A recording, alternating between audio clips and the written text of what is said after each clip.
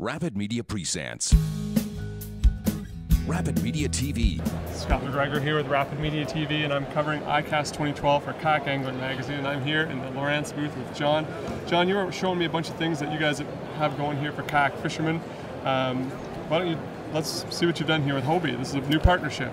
New partnership with Hobie. Um, our engineers, their engineers, uh, spent a lot of time finding a way to mount a transducer on a kayak so it doesn't get caught, so you don't bump it, and so it actually performs like it would on any other boat. Uh, this so is a big deal for kayak fishermen. We've been trying to figure out how to do it properly for years. Yep, it's huge. I think we came on to something real good here. Um, this plate actually mounts straight to the bottom of the kayak. Um, and it uses one of our standard transducers, so there's no special hardware required. And what it does is it gets the transducer up out of the way.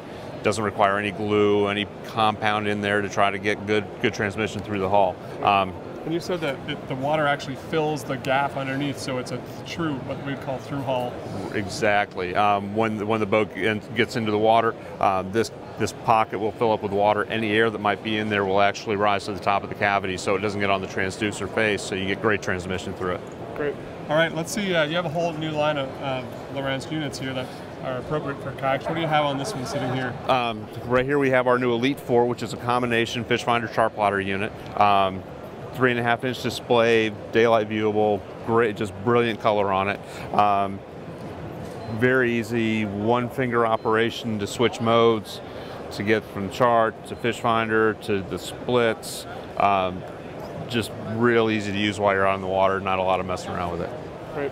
And if we don't have a Hobie, uh, you guys have another solution for um, well for the rest of us, I guess, yes. or anybody else that isn't paddling a Hobie kayak. What do right. you do there? New for this year, we have a scupper mount, so we can use any any sit on top kayak scupper mount, scupper holes to uh, mount the same transducers. Right. Is that a separate kit that you would buy? You'd buy your your electronic unit, and then you'd buy a, just a wiring package? It's, it's, it's, actually not even a wiring package. It's just a, a, way to mount the transducer on the bottom of the hull. Um, so it's the existing transducer that we have. Correct. All yep. Right.